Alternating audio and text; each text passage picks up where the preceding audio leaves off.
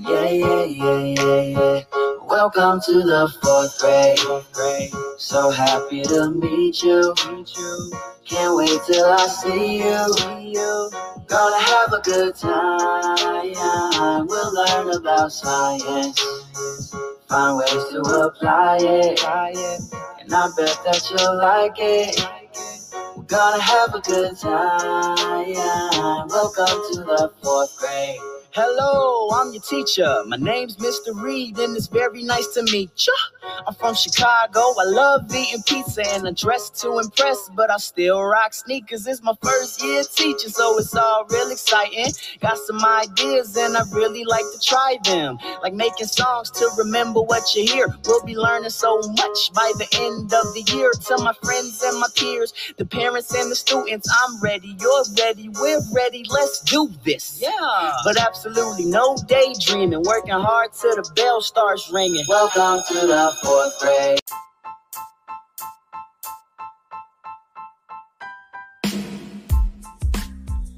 connection, engagement, rigor, success. Hello, and welcome to my podcast, coaching you through all things education. And you can find me right here on Tuesdays at noon. I'm your host, Ann Hlabangana Clay of A&C Unlimited, and we take the stress out of education. I am a passionate educator who has spent the past 26 years teaching, presenting, coaching, and consulting for students of all ages, parents, other educators, and the public. Each week, we will unpack relevant topics in education together. And when I'm not podcasting, stop by our website, acunlimited.org, for our new blog post in Coaching You EDU or a free consultation on any teacher, admin, or parent question of your choosing. We also provide three levels of interview coaching and custom design workshops made just for you. If something resonates with you during this episode, please leave a comment on LinkedIn, on our company Facebook page, or on Twitter. Check out the story notes for our social media details. And if you have an episode suggestion, please send it to coachingallthingsedu at gmail.com. Now let's dive in.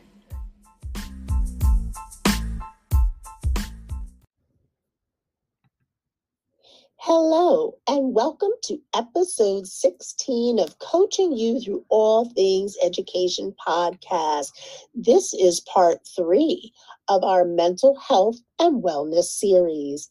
I am over the moon with today's guest. I have been a fan since the video premiered on YouTube and all of the morning shows in the year 2016. Our intro was a big clue, I hope.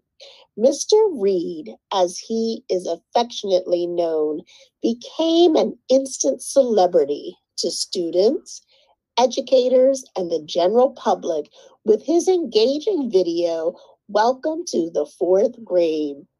He has produced other songs since, such as The Morning Song and My Teacher Loves Me.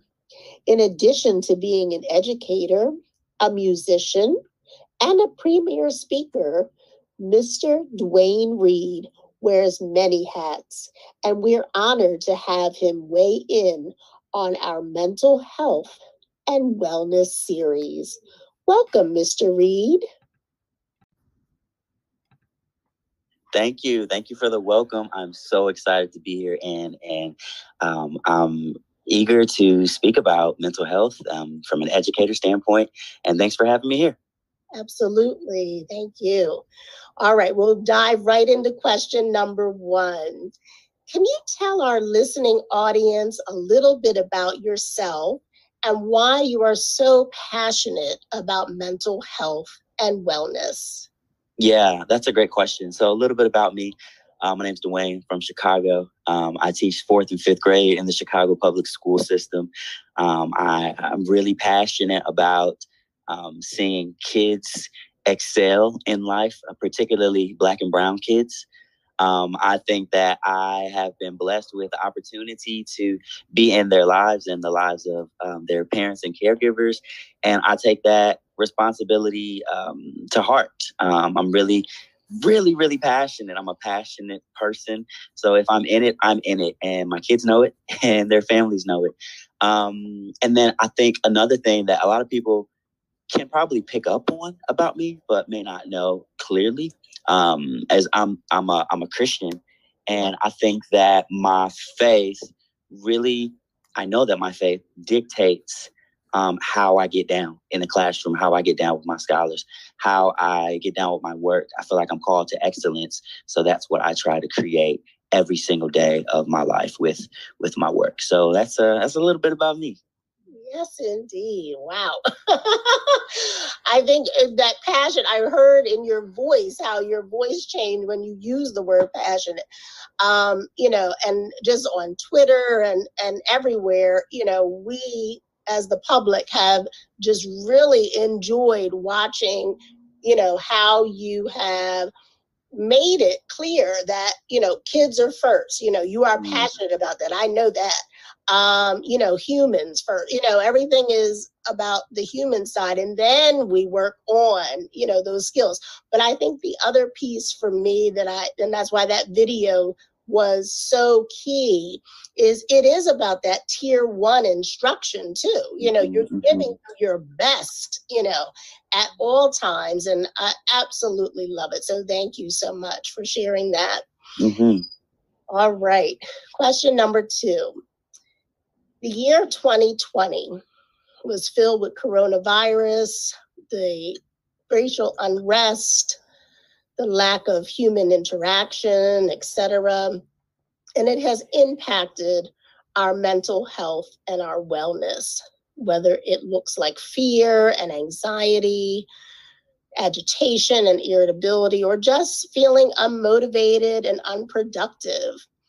What do you think are the roots of how we might be feeling and how can we deal with it? I think the roots of how we're we're feeling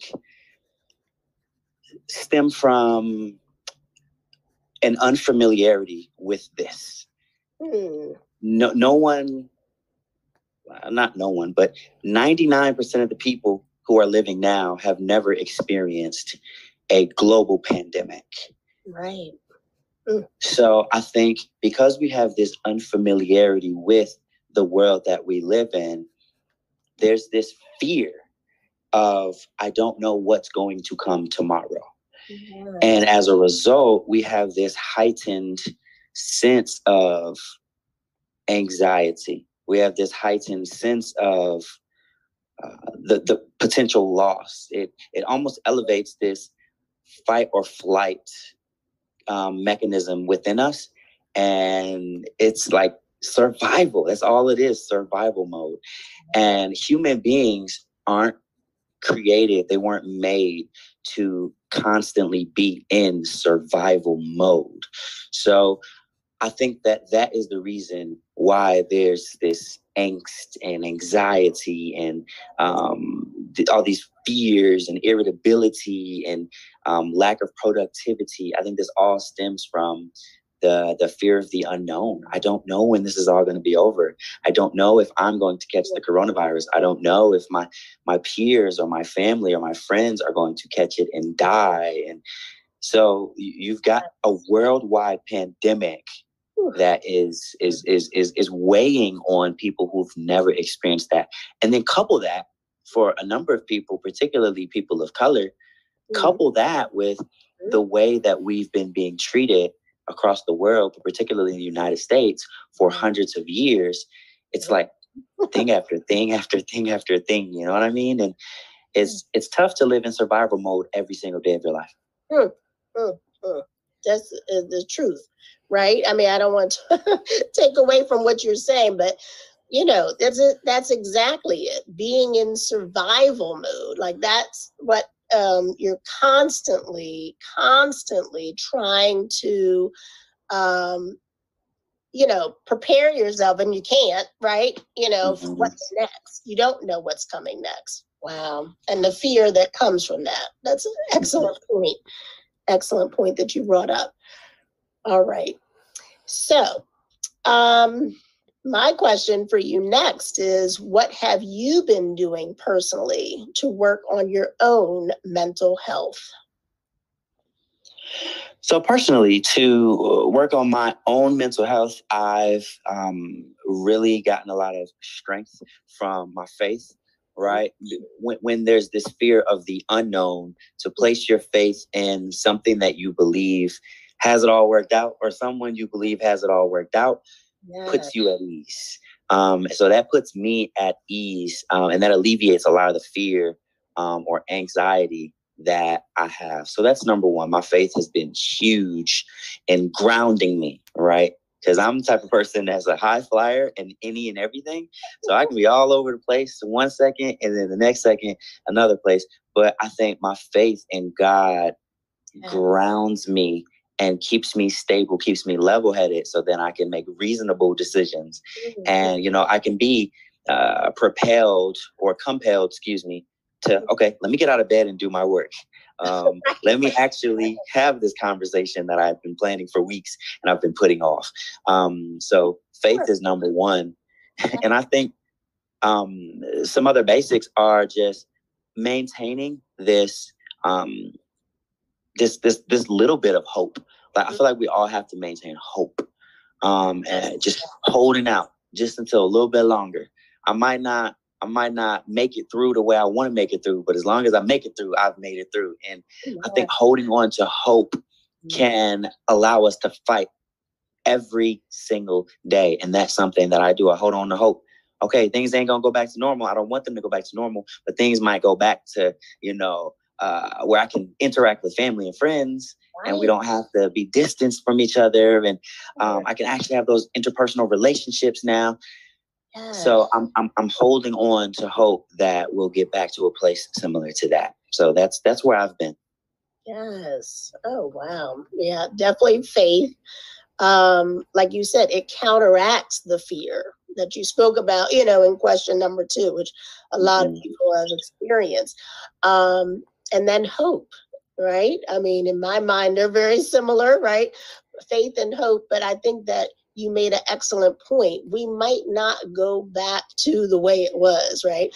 Yeah. We might not, you know, the new normal, you know, is is is difficult. But if we ho- keep hope uh, within us that we will be ha- like you said have those interactions with family and friends uh, you know with students and things on a on a safe level um, you know again and soon then certainly um, you know that's what keeps us going. I, I enjoyed hearing that. Thank you so much for sharing because we need to remember um, remember those things when we're when we're kind of you know in that ugly place. Um, yeah.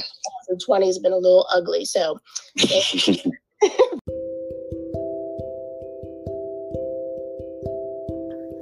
we'll be right back with more from Mr. Dwayne Reed.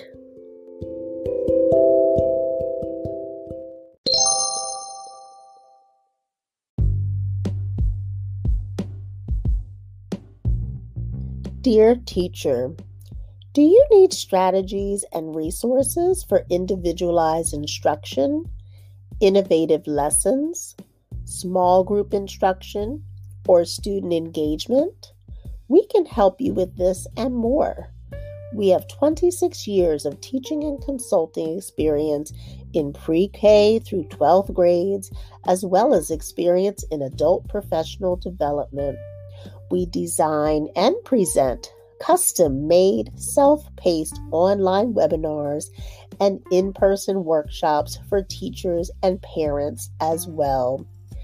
We also provide lesson plan support, interview coaching, proven scholarship tips, and tutor referrals. And that's why A&C Unlimited is just that Unlimited. We offer quality work in everything we do, or we don't do it. So contact us today to help you take the stress out of education by visiting our website at acunlimited.org or you can reach us via email at a and c dot unlimited the number four y-o-u at gmail.com we look forward to connecting with you soon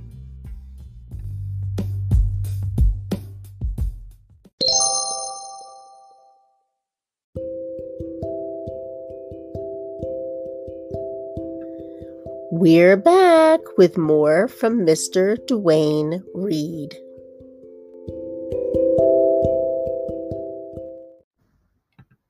Question number four. As an educator, you have an awesome responsibility of being charged with the mental health and wellness of your school population, virtually, and now with the possibility of that happening in person. What have been some challenges? And please share some of your successes. Yeah, I think challenges um, with the reality that as an educator, there are a lot of people who are counting on me, right? Um, even mentally. I think a, uh, an immediate challenge is removing this notion that I'm the savior. Um, it's it's removing that notion from my own mind and then communicating that to people who might think otherwise. No, don't get it twisted. I ain't here to save you. I'm here to help you. I'm here to serve you, but I'm not here to save you. I cannot be your all. I cannot be the you know what you place your hope in because I'm faulty and I'm going to fail you. I I can dag I can't even do it for myself. So you know, what I look like trying to do it for X amount of scholars and their families and, and other teachers. So again, I can serve you in that capacity. I can help, I can support, but I can't save you. So I think making that clear to myself, number one, and then making that clear to the people um, whom I maintain a relationship with. Um, I think the next challenge that comes up is everybody is on different levels. Mm. So some people uh, are, are, are dealing with 2020 um, a little bit more easier than other people are. Some people it's and and that's all right, by the way. So I, I, I don't mean to say, well, everybody needs to be on the same wavelength. Heck no. Heck no, because everybody's not going through the exact same thing the exact same way. Um, but that can be a challenge if, you know, I'm at one place and you're at another, and we're trying to see eye to eye on how to move forward. Um, so, so that's been challenging as well. Um, but I think, as far as the success is concerned, um, man, my, my scholars showing up every day is a success, yeah. right? Them, them, them logging in and them being there when they could be literally miles away by the click of a button, right? When they could be playing the video game. hey, I'm fine that you if, that you logged in. If you still want to play the video game, at least you logged in and you're hearing a little bit of something. I gotta say, um, so that's a huge success for me, um, and, and, and my school environment great wow.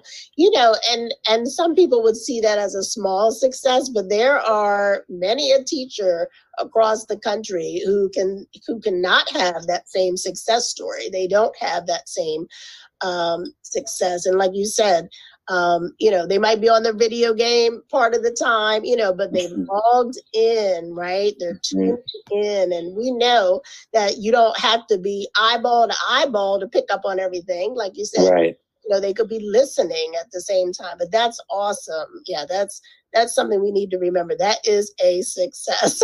Mm-hmm, mm-hmm. line all right our next question for our educators our parents and our students who are listening today what are three strategies to improve our own mental health and wellness yes uh, so for whomever's listening I'm no mental health and wellness expert, but um, things that have have been beneficial and helpful for me as far as improving my mental health and wellness have been um, exercise, getting outside. So getting outside to run. I actually hate running. I hate it.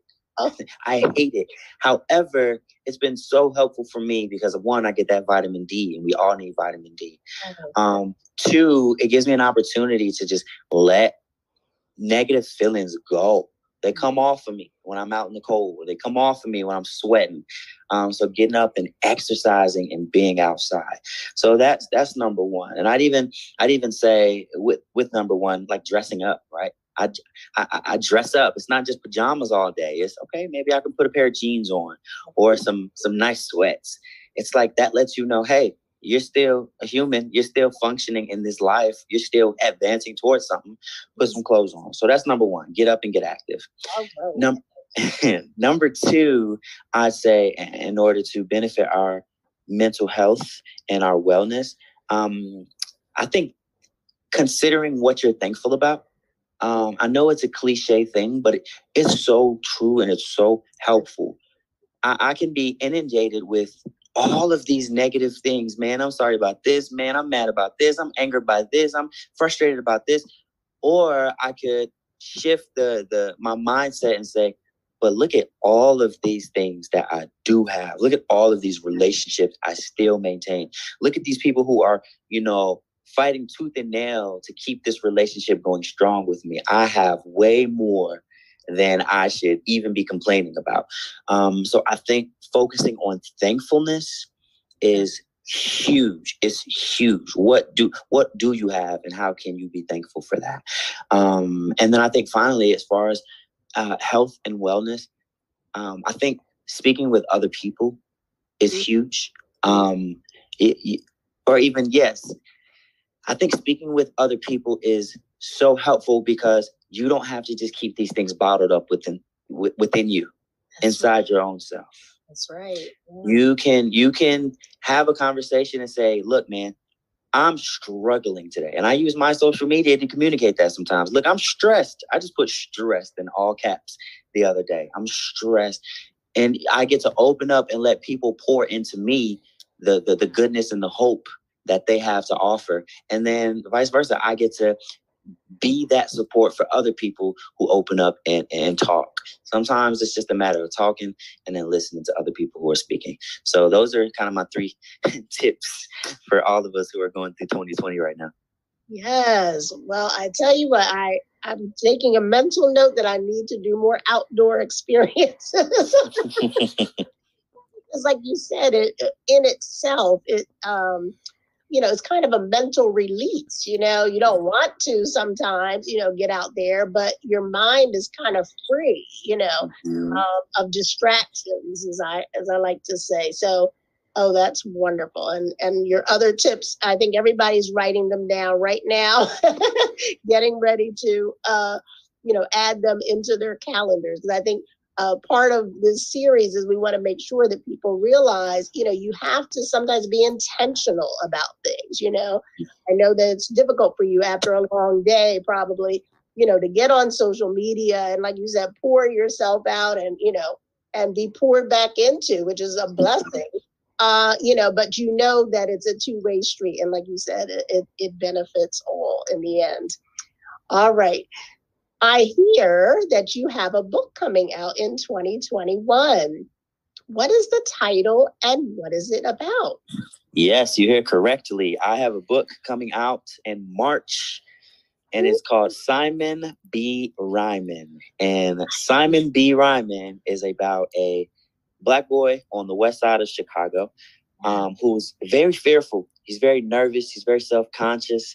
Um, he's afraid to use his voice. However, Simon has a particularly interesting talent um, in that he can rap really well. So whenever he's faced with a difficult challenge, he processes that challenge in his mind through rap. And throughout the course of the book, we see how, as he's coming into his own, Simon uses his voice to help make change in his community. So, along with Simon, who has dubbed himself the notorious DOG, roof, roof, uh, along with Simon, he's got the the DOG crew, um, and it's it's it, it really t- tells about what it's like um, growing up here on the west side of Chicago, um, and how even those who seem like they don't have a voice do have a voice, and that voice can be heard. Ooh, wow. You unpacked that book beautifully. I think that I am definitely pre-ordering. but you know, even for, you know, for me to order it, I'm I would love to do that. I think our schools need to think about pre-ordering it as well. Um, to empower, you know, our youth. It all is all about student voice, right? Yeah. Uh, you know, I'm much, much, much, much older than you. you know, when I was in school, it was not about student voice at all, you know. And so I think that through the years we've gotten closer to that. But I love how your book um, you know, speaks about that everyone has a voice, even if you don't hear it, right? Even if you don't hear it all the time. Oh, great. So hopefully we'll um, be able to get some information in our story notes for how to, or for maybe your website for how people can uh, obtain the book when you do your pre-orders. Yes, yes, yes. All right, awesome. And this question is trending on the show. It is our final question, one of my favorite. If you could have a billboard with anything on it, what legacy message would you print on it and why? If I could have a billboard with anything printed on it, the legacy message that I would print on it would be this get over yourself. Ah. get over yourself. Number one, I know in media, shock value is really important. So if something says get over yourself, I'm like, whoa, whoa, whoa, who are you telling to get over myself? So that's number one. Now I've gotten your attention. Right. Get over yourself in that so many people think that the world is about them. Mm. And it's and it's not. The world is not about you as an individual. The the world is about all of us together. Um, and again, even if I take from from my faith, I think about Jesus and it's like, if there was anybody that the world was going to be about, it was going to be Jesus. Yet in him coming to earth, he puts himself last. He puts others first. He gets over himself, so to speak. And I think that if more of us got over ourselves and put ourselves second or last and put others first, our world would be such a better place. So if there's if there's anything that I'd want to leave a legacy of, it's man, you you you come second, you come third, you come last. Mm-hmm. Everybody else in your life comes first. And if everybody is putting everybody else first, we all gonna be first. Get over yourself. Uh, wow. that was an impactful legacy message. Thank you so much, Mr. Reed, for joining us today. I tell you, uh, just absolutely loved hearing about your world and how you feel about it and the tips that you gave us. Um, you know, we'll definitely be able to put those things right into action today. So until next time on Twitter, or maybe as a future guest, Mr. Dwayne Reed, you have an awesome rest of the day. Thank you so much. I appreciate it. Thank you. All right. Bye.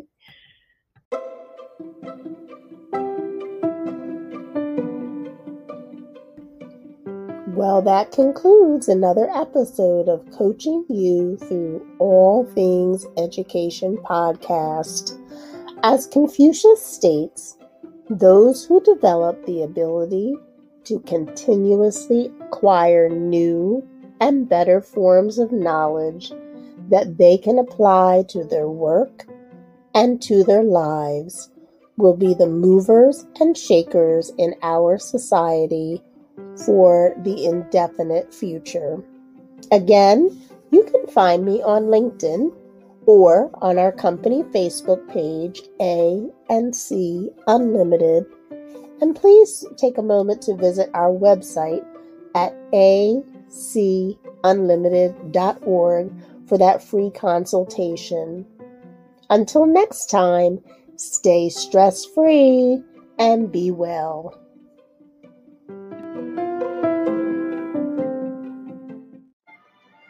Hello, this is Ann Hlabangana Clay, your podcast host for coaching you through all things education, as well as the founder of A&C Unlimited. I absolutely love using Anchor as my home. Let me tell you why.